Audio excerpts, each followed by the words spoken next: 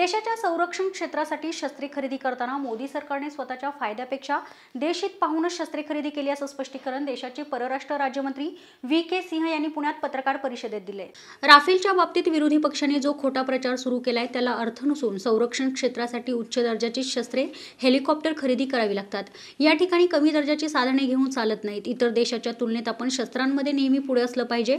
यासाठी मोदी सरकारने संरक्षण विभागासाठी चांगली साधने खरेदी केल्याचं व्ही के सिंग यांनी यावेळी स्पष्ट केलंय आप अगर उसी प्रोग्राम को अच्छा करते जीटीआरई को डंडा लगाते, अपना डेटा गायब नहीं होने देते, जो कि कहाँ गया किसी को नहीं पता तो शायद आज आप इस पोजीशन में होते कि आपका खुद का जहाज़ होता, आपको कोई, और शायद राफेल से अच्छा होता।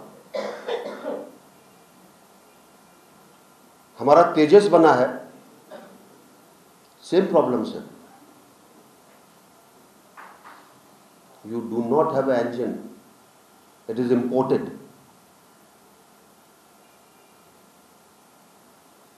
तभी तेजस के साथ आपको प्रॉब्लम आती है।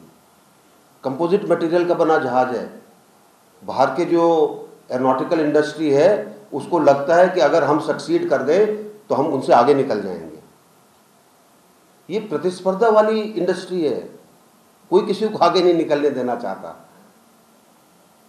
तो ऐसे उसके अंदर अगर आपको टेक्नोलॉजी ट्रांसफ़र मिलता है या आप टेक्नोलॉजी का गेन कर सकते हैं, वो अच्छा है, या पुरानी टेक्नोलॉजी के ऊपर जाना अच्छा है। ये सवाल आपके मन में छोड़ता हूँ। दरम्यान प्रत्येक भारतीयांच्या बँक खात्यात पंधरा लाख रुपये जमा करण्याच्या आश्वासनावर केंद्रीय राज्यमंत्री व्ही के सिंग यांनी स्पष्टीकरण दिले पंधरा लाख रुपयांची घोषणा करण्यात आली. त्यावेळी त्यांना तुम्ही विचारले का असा प्रश्न विचारताना देशात सरकार आल्यावर सर्वसामान्य नागरिकांना तेल तांदूळ गहू तुरडाळ या जीवनावश्यक वस्तूंचा पुरवठा कमी पडू दिला नाही आणि भाव देखील स्थिर ठेवलेत. त्याची तुलना केल्यास ही रक्कम पंधरा लाखांपेक्षा जास्त होईल असा दावा त्यांनी केलाय.